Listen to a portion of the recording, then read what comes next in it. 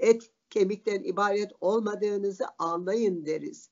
Dünya eli yolu hak ettiği diriliği ilme kattığında işi kolaylaşır ama kaç insan bunu başarabilir?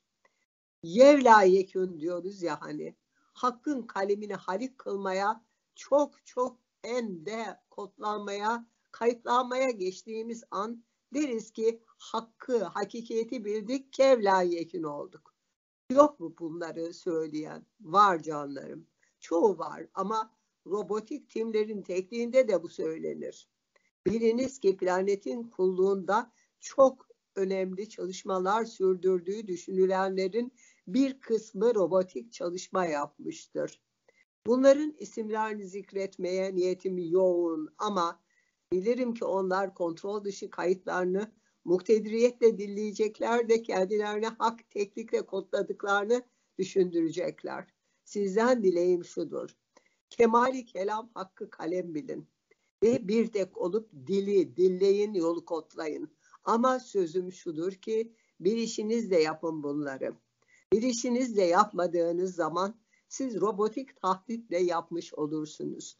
Robotik tahditle yapılan çalışmalarda şafak olunmaz. Şafkı kelamda kodlama imkanı olmaz. Dünyanın sırrı budur ve siz bunu hak ederek yapmadığınız sürece ekmek olamazsınız canlarım. Önce dünyayı anlayın. Neden dünyalıyız? Çünkü bu dünya kural koydu ve dedi ki ben mühimim, çok mühimim. Ben her anım, her şeyim, yaşamım ben. Ve dedi ki benim eski dünyalarda geçişlerim oldu. Benim yoğunluklara kodlanışlarım oldu. Kontrol kuruşlarım oldu ama mahrek olarak yaptım bunları. Bundan ötesini de yaptım. Nerede dünyalı varsa benim ilmimle kök kayıtlamalar yaptı. Ve ben mutluyum ki buradayım. İşte bu. Ve şimdi daha da özel bir bilgi dünya planetinin gerçek çalışmasında çok özel kök kapılar açılmışken o kapıların kontrollerini kaybedenler oldu ve sofralar kurulmuşken o sofralarda kodlananlar kalemden, kayıtlardan ve aklın sahalarından ayrıştırıldılar. Mutlaka bilin ki dolu dizgin yapılan her çalışma özeldir. Ama önemli olan ruhla yapılan çalışmadır.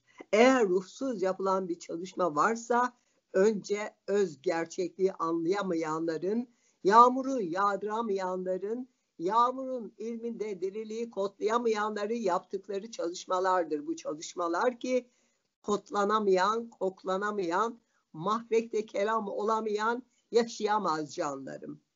Eski yeni de yoktur. Bunu da size özellikle açıklamak isterim. Her şey herkeste var. Her şey her seste var. Her şey hepimizin ilmi ve bir tekiz hepimiz. Ama insan çok çok özel olduğunu düşünür ve der ki ben öyle özelim ki barışın kalemiyim, yaşamın dili, diriliğiyim, ilimim ve tanık dille, dilleyenlerin ötesiyim. Cennet, cevheri kelamsa, cevheri kelamda kalem itibar ama itibarı kodlayacak güç has tahttır. Sen önemlisin, ben önemsizim değil. Bir tekiz ve tümümüz önemliyiz. Bunu iyi anlayın canlarım. Yine de dünyanın sırrını bilelim. Burada oluş sebebimizi anlayalım. Yalın olalım, hasat olalım ve tohum olalım. Toprak olalım ve takdim edelim kelamı. Kervan ilim ve her birimiz ilimsiz sistemi olarak o sahaları kayda alalım. Bütüne hizmetçiliktir yaptığımız ki biz öz görevlileriz. Mutlaka, mutlaka biliriz ki kör sağır değiliz. Işık halindeyiz ve yal, yalnız da değiliz. Çok çok önemlidir bu bilgi. Bunu kayda alacağım ve sevgiyle dinleyeceğim. Bunun için sevgiyle sistemden çıkmadan kayda giriyorum.